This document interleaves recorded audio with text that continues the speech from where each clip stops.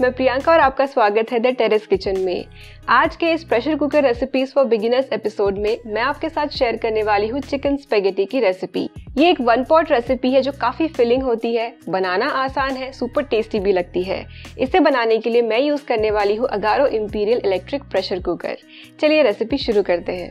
ये एक one pot recipe है, जिसके लिए मैं अपने इलेक्ट्रिक प्रेशर कुकर में पहले सौते मोड ऑन करूँगी, जिससे मैं बिना प्रेशर कुकर का ढक्कन लगाए नॉर्मल बर्तन की तरह इसमें खाना बना सकती हूँ। तो सबसे पहले हमें चाहिए दो से तीन टीस्पून तेल। नेक्स्ट मैं डाल रही हूँ दो टीस्पून बारीक कटा हुआ लहसुन। लहसुन को भी ज़्यादा फ्राई नहीं करना है, हल्का सा ही हमें फ्राई करना है। इसके बाद मैं इस कुकर में डाल रही हूँ एक चिकन ब्रेस्ट तो मीडियम साइज़ का ये चिकन ब्रेस्ट है, इसे हमें हल्का सा पकाना है। थोड़ी सी सीजनिंग के लिए मैं यहाँ पर ब्लैक पेपर यानी काली मिर्च का पाउडर डाल रही हूँ और आधा छोटी नींबू का रस। यहाँ पर ये मैंने फ्रोज़न यूज़ किया इसलिए आपको छोटा सा एक टुकड़ा दिख रहा है। थोड़ा सा नमक और लगभग आधा कप पानी। हमें चिकन ब्रेस्ट पहले पकाना है। हमें इसे ओवर कुक नहीं करना है तो हम इसे पहले पकाकर साइड में रख लेंगे। तो ढक्कन लगाकर यहाँ पर मैं पोल्ट्री का बटन सेलेक्ट कर रही हूँ, पर मुझे यहाँ पे टाइमिंग कम चाहिए। मुझे सिलेक्ट करना है केवल छः मिनट क्योंकि मीडियम साइज़ का है। अगर आप चिकन ब्रेस्ट को ज़्यादा पका देंगे ओवर कुक कर देंगे तो ये हार्ड हो जाएगा और च्यूई हो जाएगा।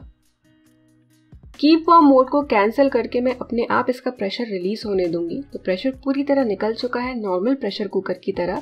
नॉर्मल प्रेशर कुकर पे आप लो फ्लेम पर लो से मीडियम फ्लेम पर केवल एक सीटी इसे पकाएँ।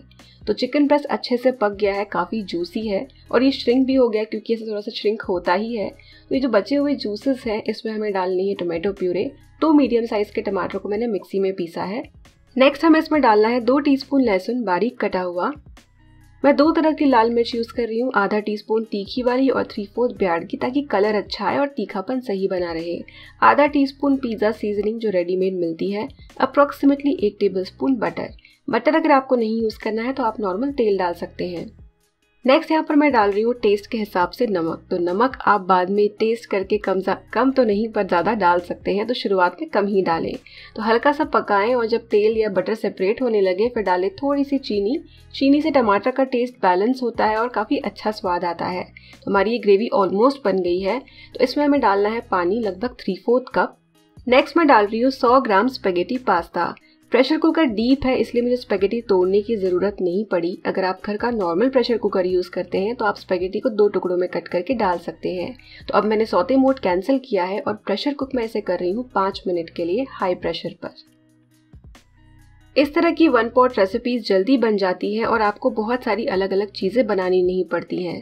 तो ये बन गया है और मैंने नेचुरली इसका प्रेशर रिलीज़ होने दिया है। स्पेगेटी अच्छे से पक गई है और इसमें थोड़ा सा भी आप देख रहे हैं कि पानी है। हल्का सा कुक करें, लेकिन पूरा ड्राई ना करें, क्योंकि ये जो अच्छा सा सॉस है, ये आपको खाते समय बड़ा अच्छा लगेगा। स्पेगेटी ड्राई नहीं लगेगी। स्पेगेटी को एक प्लेट या बोल में सर्व करें और ऊपर से स्लाइस किया हुआ चिकन रखें। चिकन के ऊपर भी सीजनिंग है, पर आप चाहें तो थोड़ी सी लाल मिर्च इस तरह से गार्निशिंग के लिए डाल सकते हैं। कलर भी अच्छा आएगा और थोड़ा सा धनिया।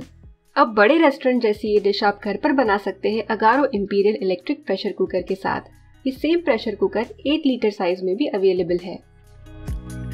आई होप आपको ये रेसिपी अच्छी लगी होगी और आप ज़रूर इसे ट्राई करना चाहेंगे। वीडियो पसंद आया हो तो इसे लाइक करें और चैनल को सब्सक्राइब करें। मिलते हैं अगले वीडियो में। तब तक के लिए बाय